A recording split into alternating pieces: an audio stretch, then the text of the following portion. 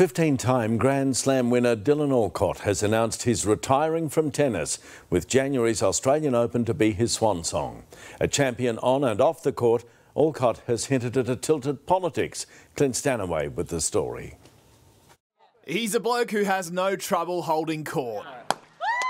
And in true Dylan Alcott style, this was a retirement announcement laced with humour. I feel like John Farnham announcing it today, one more time. All right, it's going to keep coming back. No, no. With 15 Grand Slam titles, four Paralympic golds, and a Newcombe medal under his belt, Dylan has won it all, which makes saying goodbye a little easier. I think I've done everything that I need to do here. I don't want to be that old guy who's hanging on, getting beaten. But for all his victories on the court, oh, he's done it again.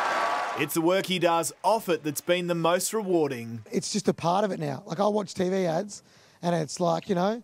Nadal, Barty, Alcott, like it's just normal. And people like Heath Davidson, Dylan's longtime friend and doubles partner, can't thank him enough. I don't know if anybody will do it better than him, but um, I mean, yeah, he's really modest and a humble guy. And with bumper crowds expected at Melbourne Park for January's tournament, there's every chance Dylan will get the ultimate farewell as he looks to bow out with an eighth Australian Open trophy. It's on us now to send him out with a massive bang. It begs the question, what's next for the 30-year-old? Looking forward to the next chapter.